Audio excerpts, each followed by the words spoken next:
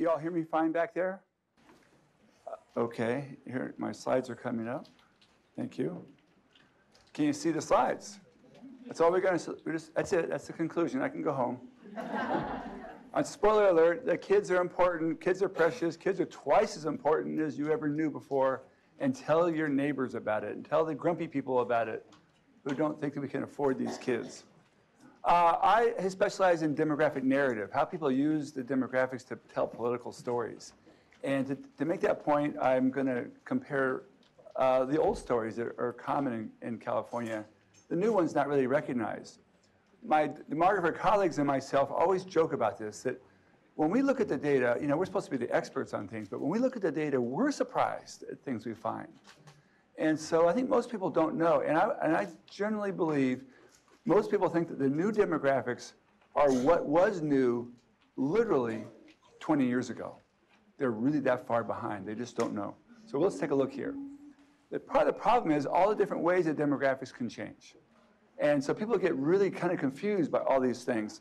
And it depends on where the attention is going. Where's, where's the policy attention? Is it about racial change? Is it about immigration? Or maybe it's about aging? You know, and they're, they are dazzled by all these facts. They don't know where to look. What's the most important thing? But you know what the most important thing is. I know you do. And it's really the things we take for granted. It's about the kids, children born and raised, totally taken, taken for granted. But I got the numbers. I'll show you the old story. We can look at the new story. But first, the narrative here. Growth is overwhelming us. Children are too numerous. You know, they're a burden on the taxpayers. And we don't need other people's kids. And we just can't afford it. I'm sorry, there's too many. That's the story. And uh, it's slowly changing now. I see evidence of it changing, but that's in the backs of the minds of the older voters in particular because they remember a time 30 years ago when maybe there were a lot of kids. My parents actually were like that. They created me, they created the baby boom. And we really swamped the schools, uh, we swamped everything. It's not like that anymore. Here's the growth in California just uh, since uh, 1940 going through 2060. The dashed line is what the state demographers in the Department of Finance thought the growth was going to be in 2007. This is like looking back from 10 years ago. They saw the, dash, the, the dotted line going through the ceiling there. And the green line is the more current projection. It's a slowdown. How big a slowdown? Well, what year does California reach 50 million? The old expectation, 2032. The new expectation, 2055. 23 years later, it's a whole generation later, it's going to hit 50 million. You want to see Santa Clara, I bet. Here it is. When does it reach 2.5 million? It slowed down only a little bit. From 2041, it was the expectation, now it's 2044. Because this is the engine room of the California economy, it's not going to slow down that much. But you are slowing down also here. But the point being is that we thought we had a lot of growth. We don't have as much as we thought. And underneath that, all the components of growth have also changed. So let me start with racial change, which I, uh, I approach it first because most people think that's, when I say demographics, they think that's it. It's about race. Well, race gets, it gets pretty politicized, and California is way ahead of the curve. I've been working in Washington, D.C., and just shocked at what they think there. And I said, well, we've been there. We did this in the 90s. We're way ahead, but they're, they're still figuring things out. So one concern is the decline in the white population in the U.S. And basically, uh, it's been declining steadily and will decline. That's the voters declining. Here's the total population. And then here's children. And right now, the majority of children nationwide are children of color, we think. We're just right at the crossover point right now. But that really ha has affected voters badly. They, they've reacted against this idea. They don't want to go extinct, quote unquote. These are, these are, these are front page stories in the New York Times. It affects the whole nation. Um, and it's wrong. It's not the way to think about it. We know better in California. We've been there. We are doing it successfully. Here's the current uh, population makeup, racial makeup since 2010 to 2060. And there's, we're all minorities in California. There's nobody who's a majority. And the Latino population we thought was going to go over 50%, and it's kind of leveling off more. Whites, we thought were going to go down further, but they're kind of leveling off more by projection. And what it means is it's a multi-ethnic world. All elections require multiple ethnic coalitions. There's, you know, it's not one-sided the way you hear about it in the press. So there's a national press story, then there's normal California. And uh, they, they haven't caught up. They're, they're literally, they're 40 years behind us. So let me move on to things that are more interesting and more important, that really are changing and are dramatic and have big consequences. Uh, migration or homegrown. Migration is the idea that people move to California because this is the promised land, this is the, this is the place of opportunity. And people have been coming here forever. So ever since the gold rush, people have come here to California. Um, but it's, it's changing. First, I'm going to show you the percent foreign born. These are all the big counties in California. Here's the, here's the uh, state, here's Santa Clara. This is the percent foreign born. The gray bar is the foreign born percent in 2000, and the red portion is the change in that, in that percent foreign born since 2000. And so you see Santa Clara is bulging outward there. Uh, Los Angeles actually is kind of dropping a little bit. Uh, and then at the top up there, you have other uh, counties that don't have very many foreign born at all. But that's taken a lot of attention, but foreign born growth has really slowed down in the uh, state. You see it's barely moved uh, in California as a whole since 2000, barely budged. That's not where the action is. The action is somewhere else. Everybody's been ignoring because they've been worried about race or worried about immigration. It's this. It's the percent California born. California born is something I learned when I was in Texas. I lived there several years, and I learned to be God, be next to God, to be saintly next to God is to be native Texan. and you were from Michigan or somewhere else, you didn't count worth squat. So they drew the line there. California's never had that because everybody in California came from somewhere else. They came from other states, they came from other nations. The Chinese came to Gold Mountain, they came from Argentina, they came all over the world, came to California. And we, we, we never had a majority that were California born until just after, just right around 2000, when we just crossed that line for the first time. And nobody even thought it was important. No one noticed it until my research group discovered it six years later that it had happened. And then we realized, holy cow, this is a really big deal. This is a big deal. We're, we're, like, growth is slowing down, migration is slowing down, so more and more of our kids are native, native California kids. And it doesn't matter what ethnicity they are, they're all native Californians. Uh, and it's, uh, you know, so it's, uh, it's a big deal. Let me show you by age group to show you just how big a deal it is. This is for all of California. The bottom bar here is for the total population. That's the 54% uh, California born in total. The foreign born is on the right. And then in between is the people from other states. Show of hands here. How many people were born in other states? Well, a lot of you. Me too. I'm from Florida.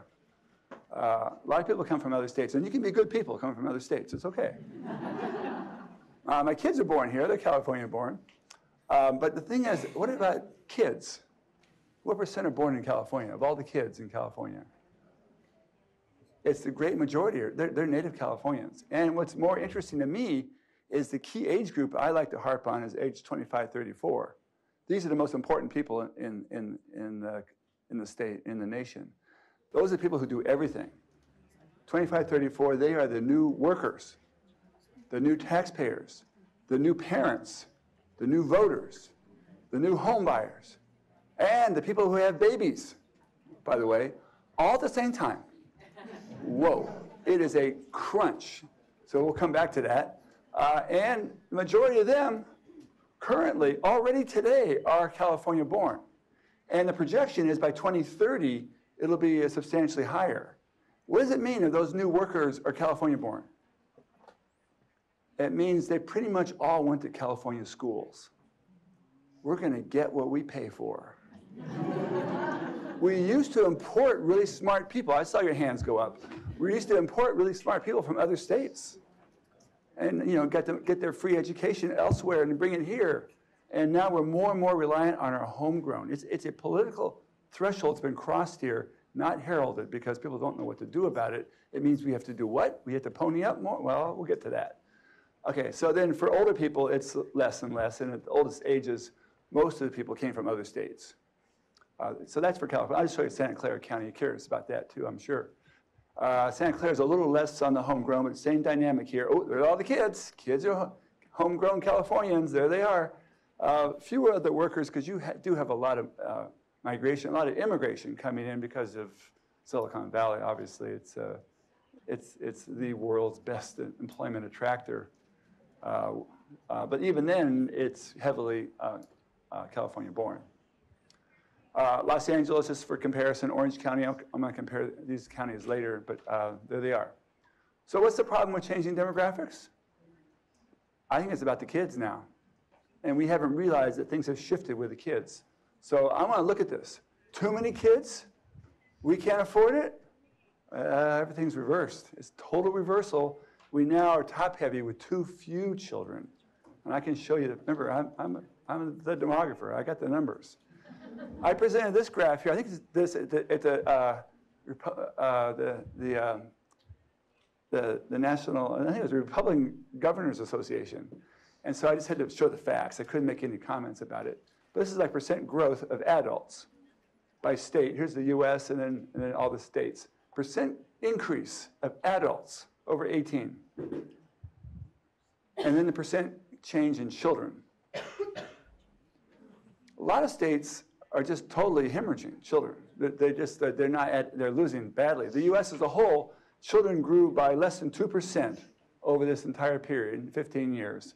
Well, the total population went up, or adults went up 18 percent, nine times more. How about California? We're negative there. California actually had less uh, lost children.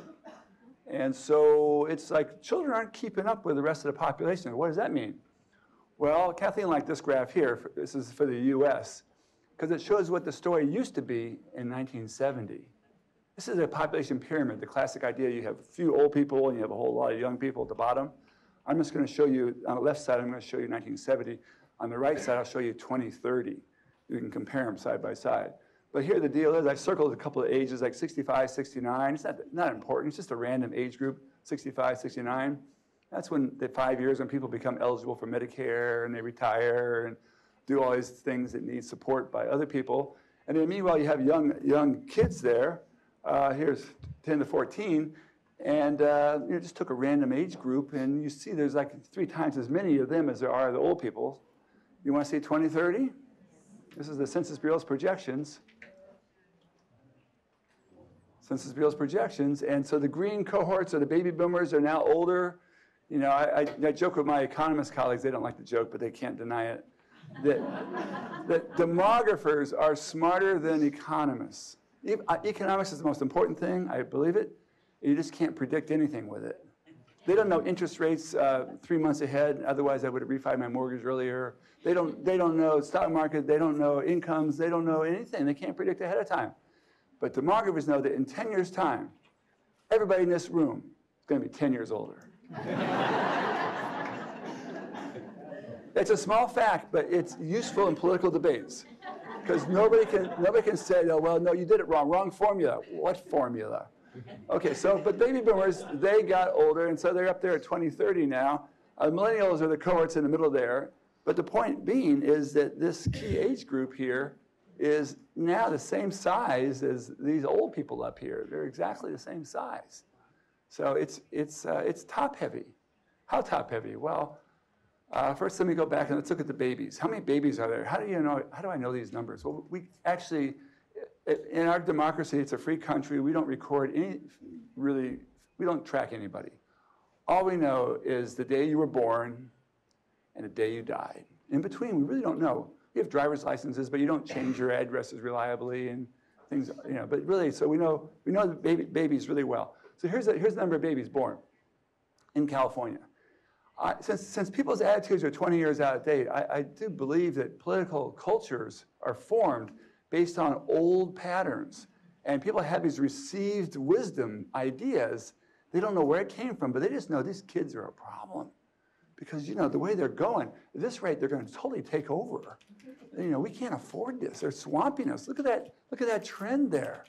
And, and, and they, you know, I'm also an urban planner as well as a demographer, so I know everybody says this at every city council meeting. Well, at this rate, we're all going to be, yeah, you know, they just extrapolate. Uh, well, so that looked bad. Here's the actual data, and here's a projection.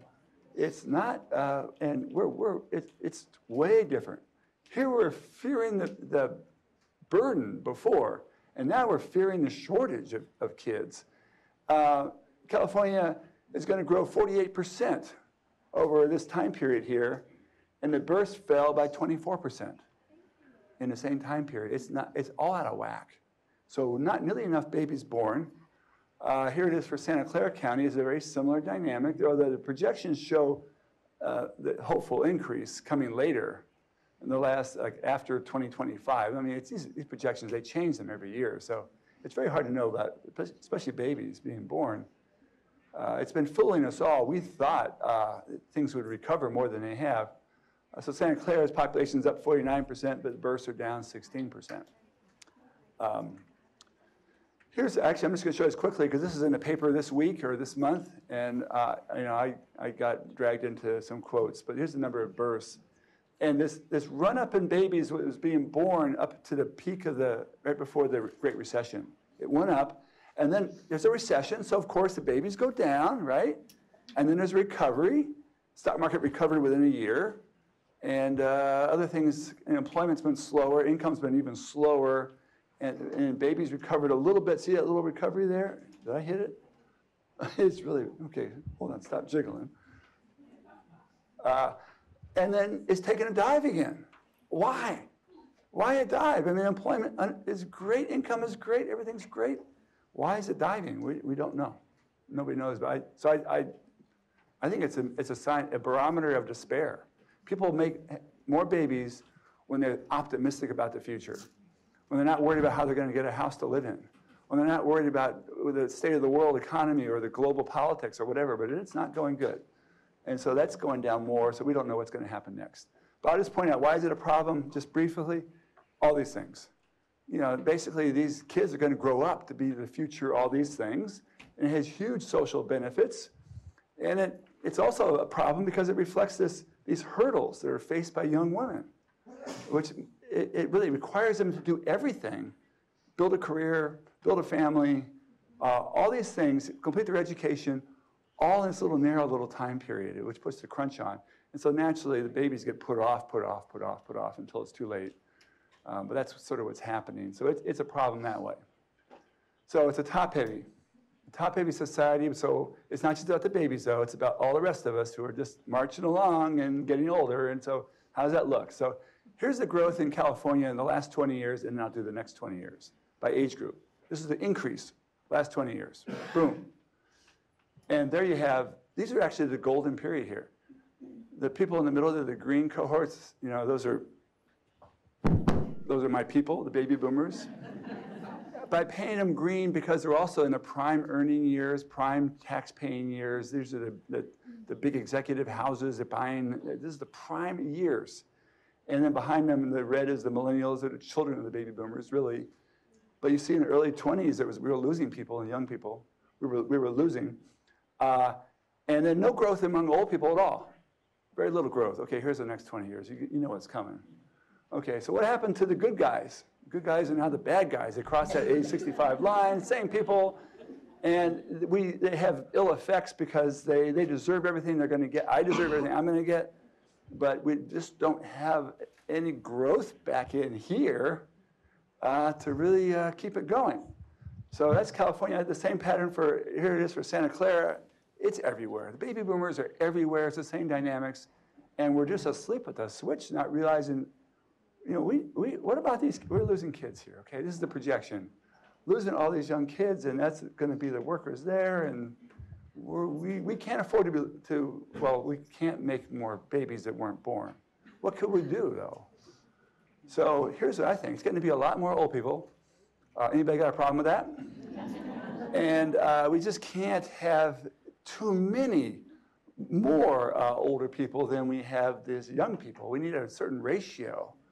And uh, so, how many is too many, and what are you going to do about it? Well, we can't make more babies, I don't believe. but we could sure invest more in the kids that we have. Let's take a look at how bad it might be, though. This is the senior ratio, I call it, which is the number of people 65 and older divided by working age, per, per 100 working age. It was pretty constant for a long time uh, in the US, and it's skyrocketing because the first baby boomer crossed uh, age 65 in 2011, born in 1946, 2011, so it takes off like a skyrocket. Totally predictable, and it goes up. Uh, it's worse in California. These are just some states. It's in every state. Here's California. I picked a few, you know, random counties. For example, Santa Clara is on the bottom there, really young. Look how young it was, 1980, 1990, really low ratio, seniors for working age. Here's San Mateo. Look how old it is. San Mateo, you know, a little older. But that, regardless, whoever they are, and Orange County is like, like, San, like uh, Santa Clara, also a bedroom, formerly a bedroom suburb, lots of families with kids, formerly. And now look at San, you know, Orange County goes really, uh, it goes up to like 55, 60 uh, seniors per 100 working age. It's like, uh, it's, a, it's extraordinary, it's doubling, more than doubling. And that ratio determines everything in our government finances at, the federal level, it's all about the old people. At the state level, here's you guys got a bad deal here. The, the way they worked it out was a division of labor. The, the, the states and, and the counties are in charge of all the kids, and the feds are in charge of all the old people. Yeah, that's the deal. And so most of the federal budget goes to uh, old people's programs, a little bit for kids, and half the state budget goes to, to, to children as it needs to. Uh, so, uh, and as you, this ratio shifts here, it's going to put more and more pressure on funding old people's services because they vote also. By the way, it's a structural problem in democracy. By the way, those kids, they don't vote. Some of their parents don't vote either. So they're underrepresented. And the old people vote a lot. They vote like twice the rate. The turnout is twice the rate of young adults. Why is that? Well, because they got lots of time on their hands and they're not being crunched by having to get to work or, or pick up the kids from daycare. Da, da, da, so they have a lot more time. So I mean, in a democracy, you want everybody to vote. So I'm not saying vote, old people should vote more or vote less, but young people really need to, we need to help them vote more. But the, point, the problem being is this is just a natural condition here, and there's nothing we can do about it, but we can respond to it in better ways. So here's the implication I draw from this, uh, this aging. That a child born in 2015 or later will become uh, working age in uh, inner working age in 2040. And at that time, the, senior ratio would this be this much higher. And so every kid is going to be twice as, uh, twice as important because they're so scarce. And, and we need them so much because of the senior ratio. Twice as important. And you know, it's probably a little more than twice, but just call it twice when you talk to your neighbors. Twice is good enough. So all evidence shows that, that to get them prepared, we had to, I think we had to put twice as much effort into it to getting them ready. So, because everybody who's better educated or better health care uh, at a young age or uh, you know, learns to read at an earlier age will do better in school and it'll pay back our investments. You know, there's lots of experiments on this and it's hard to summarize them all, but roughly six to one. Some people promise 12 to one payback, some are only four to one payback. Whatever it is, you get all your money back plus a lot more except you don't get it back today. You get it back when the kid grows up, which is why I made that joke earlier about why I'm so much smarter than an economist. Because you do know the kids are going to grow up. It's guaranteed. You'll get the money back. It's not like we're speculating. The kid's going to grow up, and you want him to grow up well educated when he comes knocking on your door to offer you to buy your house. By the way, a Latino kid age 35, grown up to age 35, with a college degree pays 70% higher prices than with a high school degree. So who do I want knocking on my door? I want the, the, the kid I invested in who's going to be able to pay me the million dollars I hope my home will still be worth. So how are we doing? Uh, just I may have to rush through this a little bit on education spending, but I just got some really cool graphs. I updated them. You know, it, it has changed. California's improved, but not enough. I'll show you. So here we go. This is the K through 12 uh, spending uh, per pupil by state in 2012. There's, there's, California, here's the US average. We, our, our payments were 13% below the national average. But you know, we always hear about California is like, you know, as bad as Mississippi, but we're not at the bottom. We're not, where's Mississippi? Okay, there it is. So we're not, we're not at the bottom. Did I touch it again? I did not touch it. I think gets, my- I breathed on it. I didn't get so close to it. Uh, that's, there's Mississippi. But, you know, it depends on how much money you have to spend. Mississippi's a poor state, so, oh, here's our median income. And, and California is above average, 13% above average. Eh, Well, where's Mississippi? Oh, it's at the bottom, very bottom. So Mississippi can't really afford to do any better. We, we could, I guess. That's 2012. Here's 2017, the very latest data available. This got issued like two weeks ago. Uh, and so uh, California, according to those data, is really close now to the national average. We've really come up in, in, in our uh, uh, 32% in our spending per pupil. These are uh, not adjusted for inflation, just no- nominal dollars. Uh, 32% increase, the US increase is 15%, so we, we're, we're catching up. How about on income? Oh, there, oh, there's Mississippi, by the way. Uh, so uh, on, on income, uh, we're up like 19%. We're way up on income. So our incomes have moved up, and we only got up just to average. We're, Mississippi's still, sorry. Uh, it's a, you know, it, it, they, they kind of, they're at the bottom. And so let me show you when I combine them together in, in a scatter plot. Uh, here it is when you do them together. And so here it is, income along the horizontal axis. And the more income you have, the more states spend on, on per pupil. And where's Mississippi? It's right on the line where it should be, the very bottom. That's where it should be. It's a poor state and it's spending about what you could expect. We're below the line. The yellow dot, that's us. We're off the line. That's 2012. Tw- 2017, how, how much better are we? Well, we moved up, but everybody else moved up, and uh, we're, we're closer to the line, but we're still 12,000, $1,200 or something short. I'm not sure what, we have to be up at 14.5 and we're at 12.5, $2,000, something. That's just a rough way to look at it, but you can sort of see we're, we're not really at average. Uh, So here's my conclusion now, uh, just to wrap it all up. You know, we need all hands on deck, no dropouts are acceptable. I mean, really, we just can't really handle this. We need, you know, early childhood interventions. And it's not just a nice thing to do. It's not just for the kids. It's an economic boost for really both the younger and older Californians alike. Everybody can, will benefit from this. It's not just the kids. Here's my theory, which basically says there's a life cycle and that people rotate through the life cycle. And the people uh, here who are the prime taxpayers get a little grumpy because they're spending all this money, a lot more than they're getting back. But guess what? They're going to get huge benefits when they get up to here. And they had benefits when they were young earlier. They don't have student loan debt the way these kids, young adults do today. So this, uh, these people, it's their role in life is to be paying a lot. It's just, and uh, one sermon I always have, you should thank them. Don't just take it. Say, you know, acknowledge it. You know, that's the highest tax bracket by age. And thank you. We appreciate your contribution because that's really valuable. We need it for the kids here because they will grow up then and they can then support you when you get to get your benefits over here. We all take turns. It's, we're all in it together. So the conclusion is real simple. We totally need other people's kids. and we need them to grow into their fullest capabilities possible. And so this is my report that came out as a national report. Not didn't have all the stuff we have here in California, but I thank you.